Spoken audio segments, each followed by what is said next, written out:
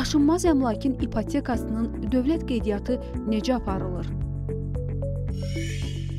Daşınmaz əmlakın ipotekasının dövlət qeydiyyatı üçün müraciət və sənədlərin qəbulu elektronlaşdırılmışdır.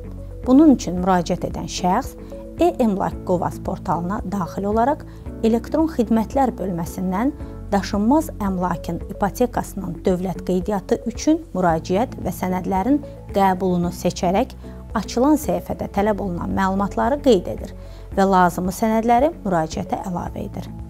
Ərizəçinin öz ərizəsinə əlavə etməli olduğu sənədlər 1. Daşınmaz əmlakın ipotekası haqqında notariat qaydasında təsdiq edilmiş müqavilə 2 ipoteka saxlayan adından müraciət edən nümayəndənin şəxsiyyətini təsdiq edən sənəd və onun adına verilən etibarnamədir. Xidmətin həyata keçirilməsi üçün dövlət rüsumu və xidmət haqqı ödənilir. Ərizəçinin elektron müraciəti qeydiyyata alınır və bu barədə ona elektron təsdiq etmə bildirişi göndərilir.